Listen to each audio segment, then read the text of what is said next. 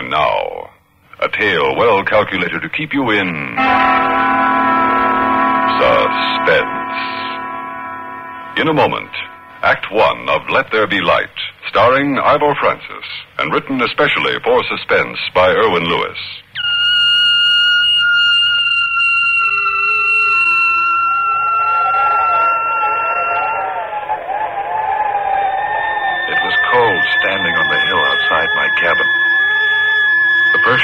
Touch of winter was in the air, chilling my fingers and making my nostrils cling together. In a little while, the snow would fall, silent, ghost like, covering the surrounding hills, the winding path to my cabin. Soon another winter would be my only companion. The heavy snowdrifts would make it impossible for Helen to come until spring. What's that? A car? Be Helen. She always comes on horseback. But it stopped at the foot of the hill. Well, I don't think it would be anybody I know. Well, whoever it is is coming up. I'll go inside. If they knock, I won't answer. Maybe they'll think nobody's here and go away. But why? Why would anybody be coming up here? What could they want?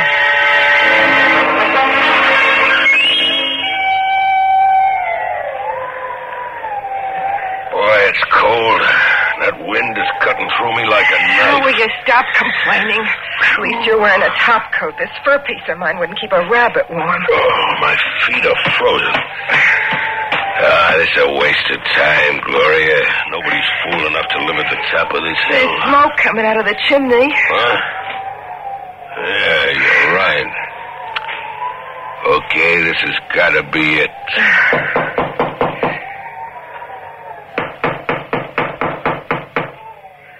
Take a look through that window. See anybody? Yeah, there's somebody inside, all right. Good. Open up. We know you're inside. Come in. The door's unlocked.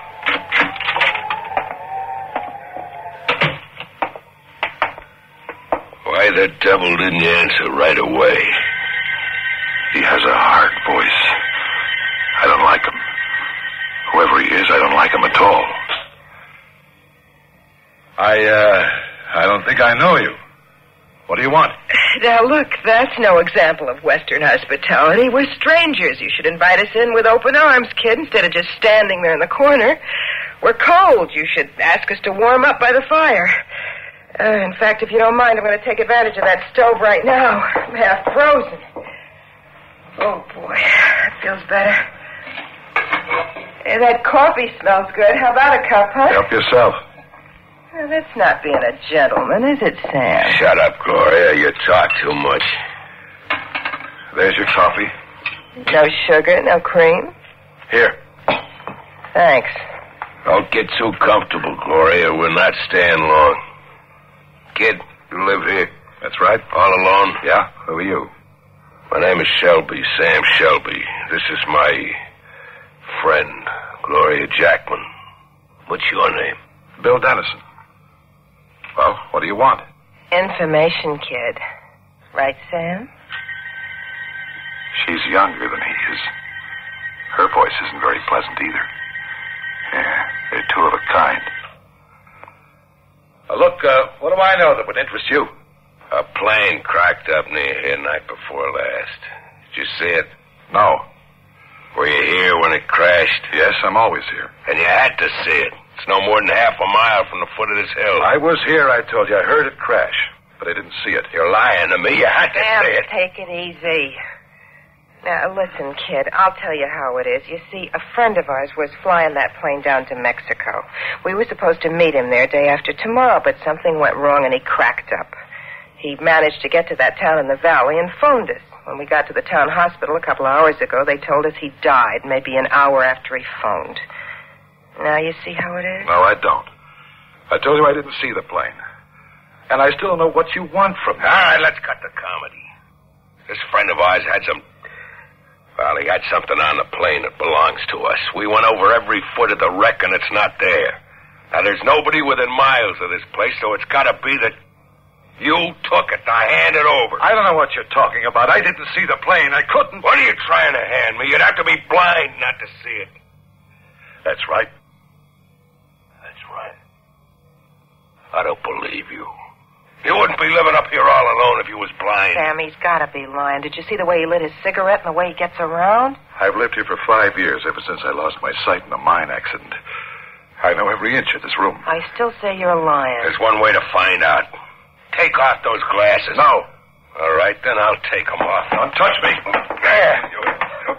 Oh, Hey, you poor guy. Yeah. I must be a beautiful sight with two black pits where my eyes should be, huh? At least I'm luckier than you. I can't see what I look like. Now give me my glasses. sure. Sure, here, kid. Sorry. Now will you get out of here? Yeah. Come on, Gloria, and this kid's got nothing for us. Sorry, kid, honest. I'll, uh, see you around sometime. Hey, Sam, it's snowing like crazy. I can't go out like this. I'll die of pneumonia. All right, all right. Here, here, put this on. That belongs to the kid. What is it? What are you taking? Your Mackinaw. Yeah, here's 50 bucks. Putting it on the table, kid. That'll buy you half a dozen coats. Now put that Mackinaw on, Gloria, and let's get out of here. What? What's that? Sounded like a horse. Helen. Who? It uh, it might be uh, Helen Prescott. She's a girl I know from the town. Once in a while she comes up here, but I, I didn't expect her. I, I mean, uh, well, I was hoping. Oh, Helen, why? Why did you have to come now? Another minute and they would have gone. Gloria, look out the window, see if anyone's coming up the path. Well? Hard to see. It's getting kind of dark. Wait a minute. Yeah, there's a horse coming up, and somebody's on it. Uh, they're going around the cabin. Why would she do that? There's a shed in the back. Helen leaves the horse in there in bad weather. She'll be coming in the door in a minute. Maybe you're telling the truth, or maybe you're not. I don't take chances. Gloria, get over there in the corner. I'll stand behind the door. And listen, kid, you can't see me, but I'm telling you. I got a gun in my pocket. One phony move, and I shoot. Why'd you lock the door? Playing it safe until I know it's outside. But I told you it's only Helen. Shut up. Now ask who it is. Who's there? It's me, Bill. Open the door. I'll do it. You stay where you are. Bill, why did you bolt the door? You never. Oh. I, I didn't know you had visitors. Hello, Miss Prescott. You know me? Your boyfriend has been talking about you. I'm Sam Shelby. This is Miss Jackman. How do you do? Hi. If I'm interrupting anything, Bill. Uh, they were just leaving, Helen. Yeah, that's right. Um, thanks for the coffee, kid. Too bad you. Well, you know what I mean. Yeah, it's too bad, but that's life, huh? Are you all right, Bill? Of course I'm all right. Why shouldn't I be? I was worried about you. When I heard the weather report about the blizzard, I, I thought I'd better get up here. Why? I don't need anything. I didn't mean it that way. I thought you might like company. My company. Why? So you could pity me. I don't want your pity, Helen. Yeah, let's shove off, Gloria. So long, kid. Sorry we couldn't do business. Well, you sure couldn't have gone to that plane. The wreck at the foot of the hill? That's it. Of course he could have if he'd wanted to. Helen! What are you handing me? You don't seem to realize that there's very little Bill can't do. He can get along as well as anybody in most things. If I could only get him to realize Shut up. Helen. Well, Bill, you know how I feel. I've, I've told you Helen, and told please, you. stop talking. Sam, do you think. I don't know. This could be the craziest thing in the world. But we're not missing any bets. Sit down, Gloria. Take off that coat. We're not leaving yet. Bill, Bill, what are they talking about? I don't know. All right, let's have a little quiz game. I'll ask the questions, and you better have the right answers. We'll start with you, lady. What do you know about that wrecked plane? Only what the town knows. It evidently crashed night before last.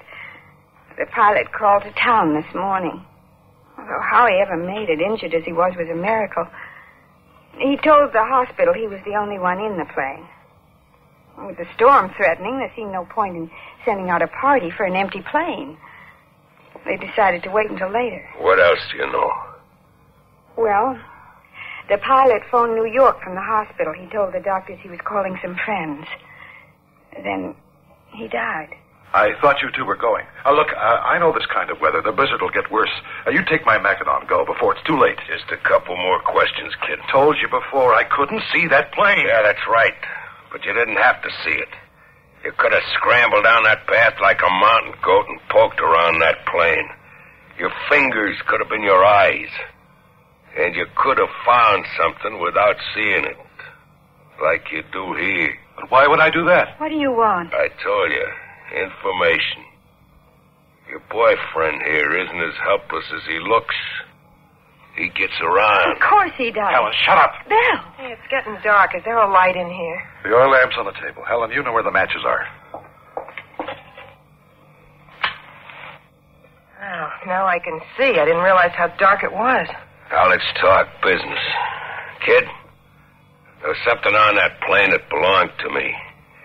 Give it to me, I'll make it worth your while. I don't want to get rough with you. Go away. Take the Mackinaw. Get out of here. You little punk, you're starving. Sam, wait a minute. Now, Billy, boy, if you found anything on that plane, why don't you give it to us? You'll be saving yourself a lot of trouble, believe me. Leave me alone. Okay, kid, you had your chance. Now I'm gonna pound the truth out of you. Keep your hands off him. Sam, you don't have to hit the kid, do you? What do you want me to do, burp him? He went to the plane. I'm positive he did. Huh? Did you? All right. I went to the plane. Yeah, I knew it. I heard the crash the other night, like I said. I didn't know what it was first, but I, I went down the hill. Naturally, it took me a long time. By the time I got there, the pilot was gone. At least I didn't find anybody. But you did find something. No.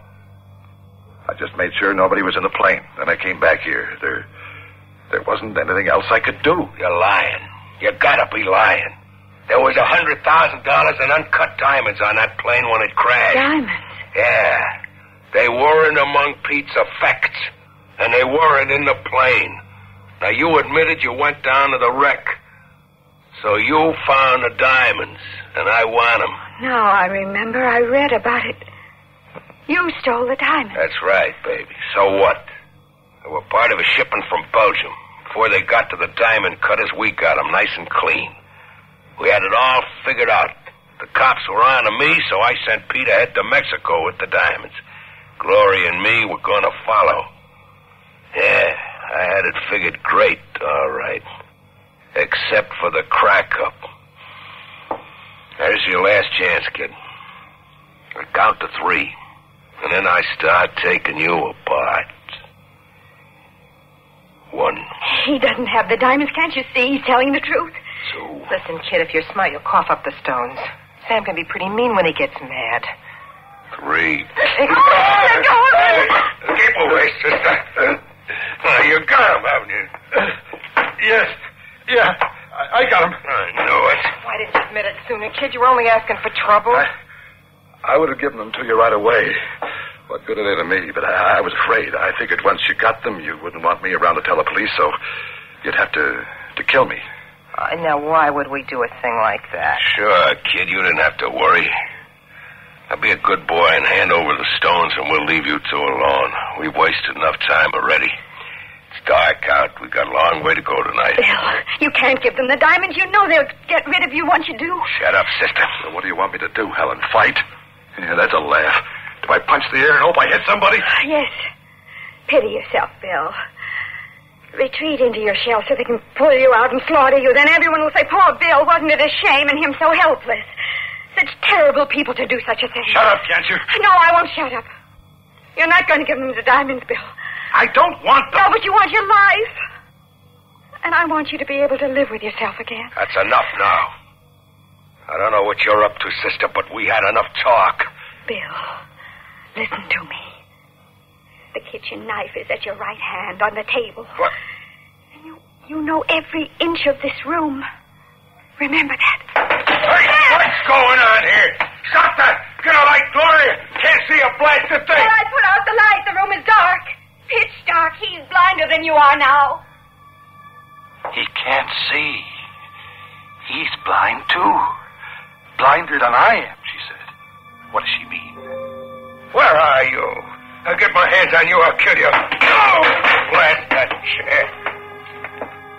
He can't see me. And I don't have to see him.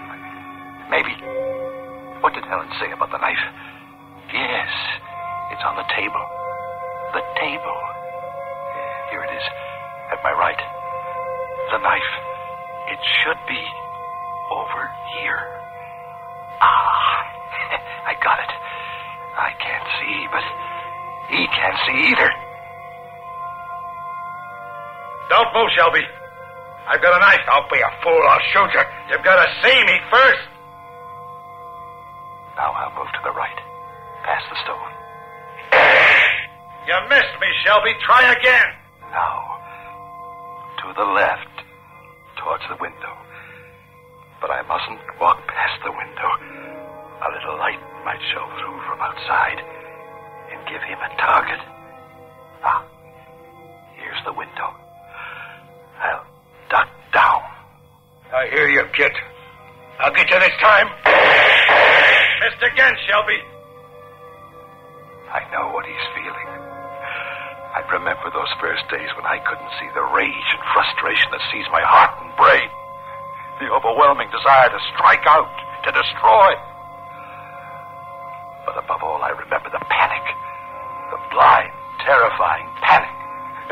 Afraid. More than I was. More than I am. Helen, get behind that table. Stay there. I'm all right, Bill. Don't worry about me. I'm going to get you now, Shelby. I know where you are. Even if you stand still, I'll hear you. Because I'll hear you breathe. You can't stop breathing, can you, Shelby? Can you hear me breathe? One more shot. That's all you've got left, Shelby. What do you do when you fire that one? Gloria, for Pete's sake, get a light, strike a match. I can't find my bag. Sam, do something. I'm scared. Sure, you're scared. Like I was. First time I was in the dark. But I've had five years to get used to it, and now I'm not scared anymore. Because I know the dark. It's my friend. And it's your enemy now, Shelby. The two of us. Me and the dark. And we're gonna get you. no, you won't. Where are you? Stand still. I'll crush you. I'll tear the life out of you. Where are you? No more bullets, Shelby. What do you do now? Strange, isn't it? All my life I was afraid of the dark. Now, now I welcome it.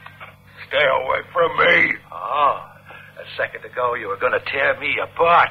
Now you want me to stay away from you. What's the matter, Shelby? You afraid of me now? I've still got the gun. I could crush your skull with it if you move a step closer. I just moved a step closer, Shelby. Go ahead. Do something. Your gun hit the door, Shelby. Now you have nothing. And I have your gun, too. Now I'm coming after you. Sam! Sam, I'm scared. Get away from me! I'm two steps from the door. He's near the middle of the room. The table is to my right. There's a chair on the other side of the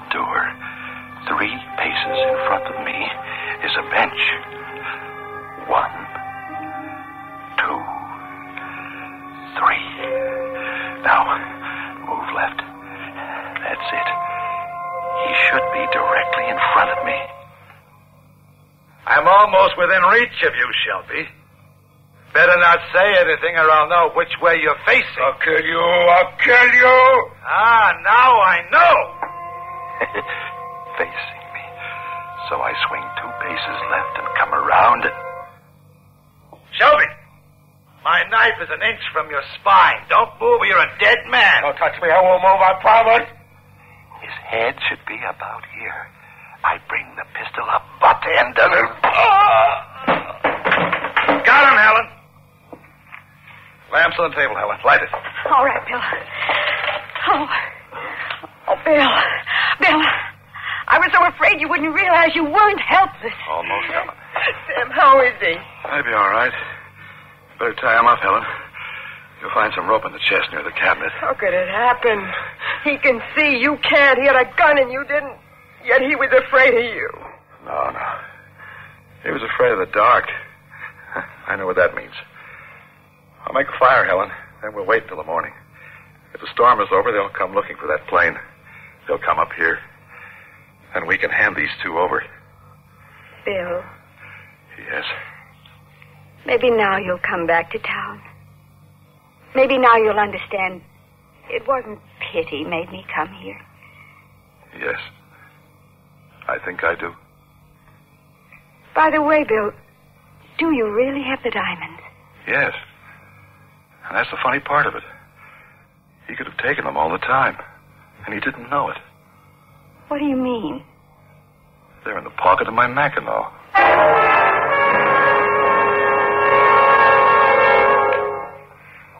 Suspense.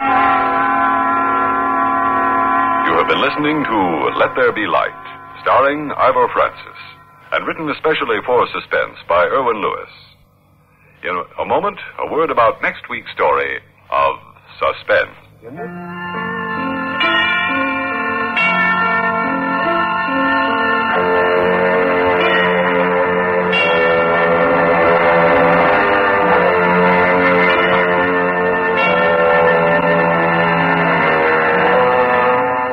Suspense is produced and directed by Bruno Zirato Jr. Music supervision by Ethel Huber. Sound patterns by Joseph Cabibbo. Heard in tonight's story were Terry Keane as Gloria and Jean Gillespie as Helen.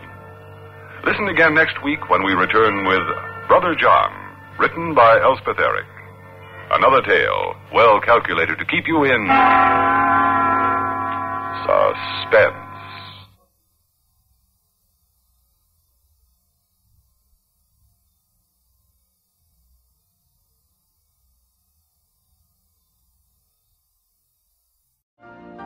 You've been listening to the OTR Gold Network. Find more classic radio at otrgold.com.